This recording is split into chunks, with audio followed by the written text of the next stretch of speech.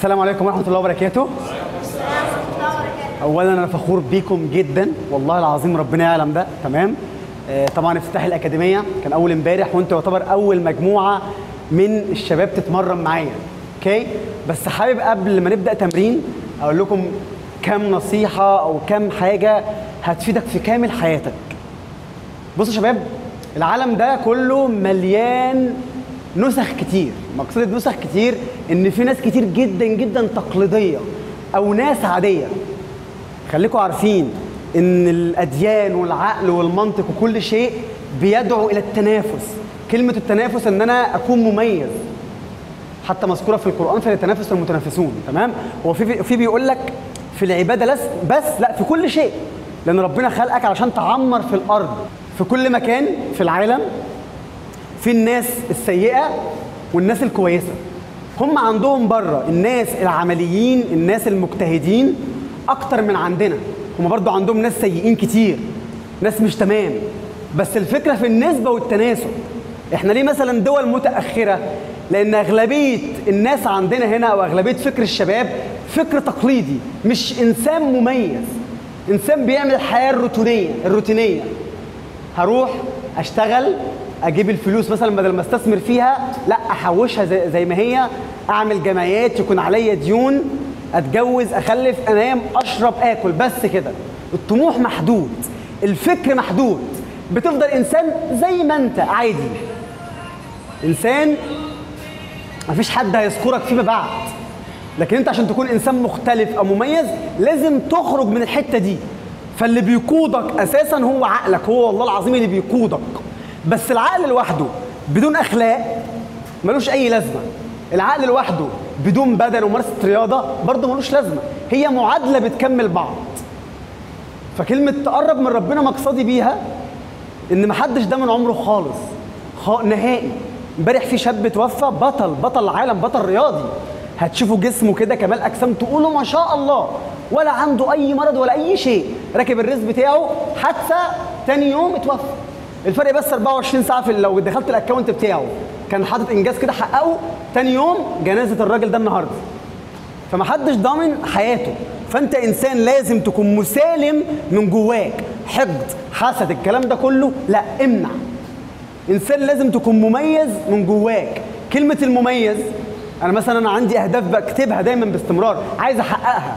أنت هتفشل آه هتفشل طبيعي جدا. عشان كده أكتر شيء هيعلمك إنك تنجز في حياتك هو مجالنا ده. هتشوفني وأنا بعلمك. بقول لك اعمل الركلة الأمامية تمام؟ إزاي تتشقلب إزاي تعمل الركلات الهوائية الكلام ده. هنفضل نحاول ونغلط ونحاول ونغلط وهكذا. دايما خليك إنسان غيور. غير يا عم غير. شايف تلميذك أحسن منه؟ غير. اتضايق من جواك بس ما تكرهوش. بس اتضايق. قول اشمعنى هو؟ هنلاقي في الفصل الدراسي اتنين هم المتفوقين. والباقي كله قاعد. الاثنين المتفوقين دول بياخدوهم يكون رائد على الفصل ويقف مش عارف على التلاميذ والكلام. اشمعنى الاثنين دول؟ واشمعنى 49 ولا 42 هم اللي عاديين لأن الاثنين دول اختلفوا. بيروحوا بيذاكروا بيجتهدوا بيعملوا فالحياة دي عايزة اجتهاد مننا على قد ما نقدر. والله العظيم أقسم بالله أكتر حد هيساعدك هو أنت. والله العظيم كمان مرة عن تجربة شخصية. أكتر حد هيخليك توصل لأي شيء أنت عايزه هو أنت. أنت جاي تتمرن مع كابتن جابر كابتن جابر ده مجرد إيه؟ مدرب. المدرب ده بيوجهك بيرشدك. لكن المسؤول عن كونك بطل أو تكون بطل هو أنت. أنا بقول لك كرر حركات. اعمل كذا وأنت بتعملش يبقى أنت برضه. أنت المسؤول عن نفسك أكتر حد. تمام؟ حاول انسان دايما ما تكونش اعتمادي مستني غيري عشان حلمي يتحقق. أنا رحت مش عارف في مكان معين واترفضت وتتحبط وتيأس من نفسك. ما تسيبش نفسك لنفسك وما تسيبش نفسك للناس السيئة. لأن نفسك زي ما فيها خير فيها شر. ممكن تسحبك للشهوات والشر وحاجات وحشة كتير. وكذلك الأصدقاء السيئين. لا إما بيقولوا ألفاظ بيئة لا إما بيشربوا سجاير لا إما لا إما لا إما. هيمر بيك الزمن وهيكبر بيك الوقت. تخش مثلا في الثلاثينات الأربعينات وتبص نفسك صفر. لسه ما عملتش حاجة. ما فتش غيرك. والمشكلة إن أنت كل ما بتتأخر كل ما أنت بتبني جيل متأخر زيك. ما هو ابنك اللي هيجي ده هيقلد مين؟ هيقلدك أنت.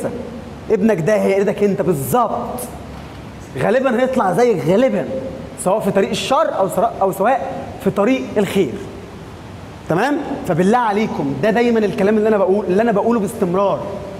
قرب من ربنا على قد ما تقدر بكل عمل يعني غير الصلاة بكل عمل كويس في حياتك. ثانيا نم عقلك بأفكار ال- اليوتيوب والفيسبوك والحاجات دي في ناس كتير عايز تكسب فلوس منه فبيعملوا أي حاجات هبلة. أنا جبت مش عارف 2 كيلو كنافة طلقت مراتي هتلاقوا حاجات غريبة في اليوتيوب والحاجات ما تتابعوش الحاجات دي. خش تابع معلومة طبية معلومة مفيدة. اقرأ كتاب. نمي عقلك هتسبق سنك. الحاجات الهايفه دي أقسم بالله ما هتفيدك. اللي تابع عبد موته استفاد إيه؟ قول استفاد إيه؟ لكن اللي تابع رياضي أو تابع محمد آه، أحمد زويل أو أو استفاد بالعلم. فنمي عقلك على قد ما تقدر.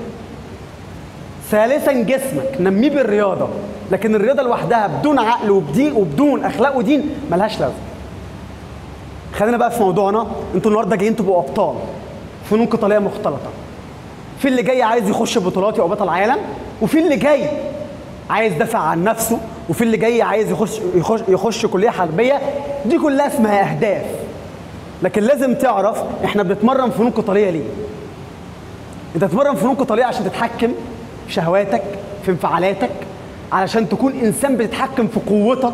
وعشان تكون إنسان عندك ثقة في نفسك وعشان تكون إنسان مميز وعشان تكون بطل وعشان تكون مدرب.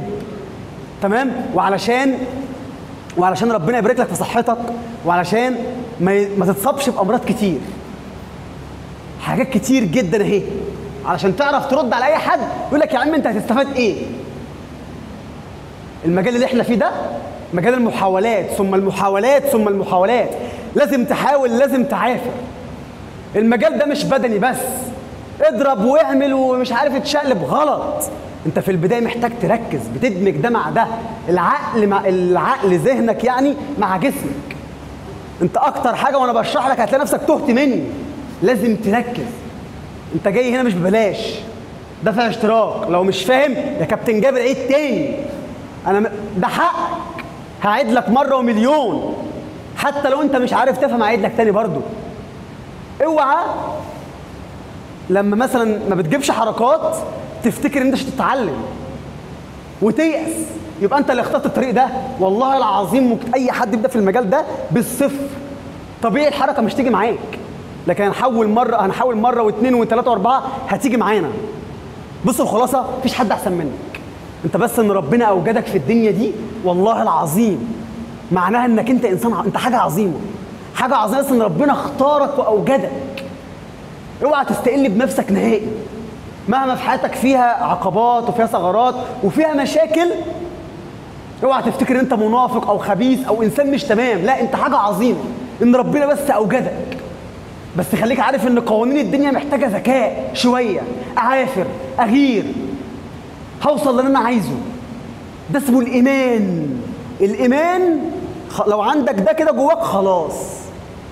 طول ما انت بتعمل الحاجة وبتفشل فيها برضه هتكون مستمتع لأنك عارف إنك أنت هتجيبها. هو ده الفرق. فالنجاح أنا كل لما أجي أعمل حاجة بص أروح إيه؟ وقع هو حركة تاني وقع وهكذا وتاني واعمل حركة واحاول ما أتحدى نفسي. وهجيبها. وهو وهجيبها. هو ده بتدرج. ده اسمه الإيمان. لكن ما تجيش تقول لي يا كابتن ما فيش حاجة بتيجي معايا أنا بتقدمش ليه؟ ما ينفعش تقول لي كده خالص. أنا كل اللي بعمله في المجال ده بجتهد فيه بس فجأة لقيت نفس الناس عارفاني. لكن أنا مش بس مش في دماغي ما بحطش في دماغي إن أنا مشهور والكلام ده خالص. ما افكرش فيها نهائي. أنا هي رسالة عندي بقدمها. وكل اللي أنا ماشي عليه بقوله لك. فجأة تلاقي عملك هو اللي بيوصل لكل الناس. ربنا بيوصله لكل الناس انك بتتقي ربنا في كل شيء. اتقوا ربنا فيا اتقوا ربنا في فينا أو فيا زي ما اتقي ربنا فيكم. هشرح لكم واحدة واحدة وبضمير وكل واحد هقف معاه. وقفة أخ قبل ما تكون وقفة مدرب. ولو في حد عنده أي مشاكل شخصية مشاكل بره اعتبرني صاحبك. اعتبرني صاحبك. خلص التمرين يا كابتن جابر بعد إذنك في حاجة عايز أحكيها لك. يمكن أقدر أحلها لك يمكن أقدر أساعدك.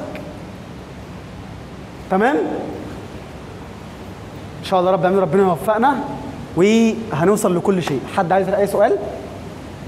حد عايز أي سؤال؟ ماشي يا شباب هنبدأ دلوقتي بقى التمرين بتاعنا. السلام عليكم.